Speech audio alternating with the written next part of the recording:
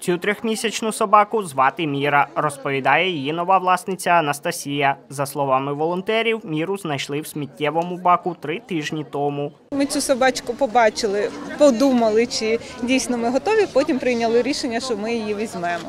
І зареєструвалися, її прочіпували. Відслідковували, коли будуть виставки, тому що в мене дитина дуже хотіла собачку. Він уже готовий був і налаштувався, щоб прийти сьогодні, вже знайти собачку, підготувався, зробив їй будиночок, купив корм і так далі. Обрала собі домашнього улюбленця і Дар'я. Згадалась моя колишня собака, я одразу зрозуміла, що це моє.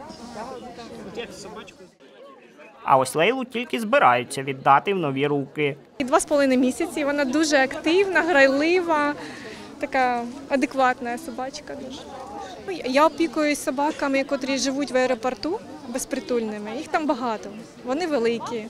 І я їх годую, вакциную, обробляю. Ну, вони там багато народжували, було по 15 цуциків е, зараз на, на якийсь виводок. Тому я їх майже всіх ем, стерилізувала. І ось одна дівчинка, яка осталась, залишилася не стерилізованою, привела трьох цуциків. Двох ми вже роздали, залишилася ця дівчинка.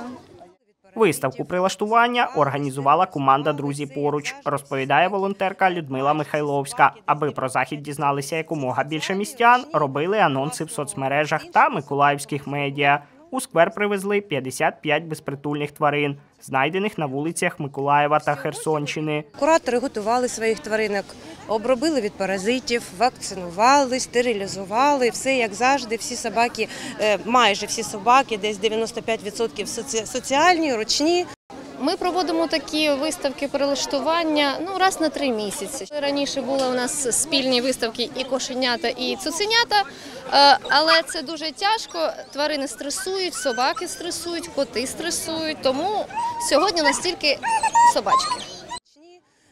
За результатами виставки було прилаштовано 24 тварини. Повідомила кореспондентам Суспільного волонтерка Людмила Михайловська. Всіх інших, як і раніше, буде можливість забрати, звернувшись до організації через соцмережі. Назарій Рубаняк, Євген Мінаков, Суспільне, Новини Миколаїв.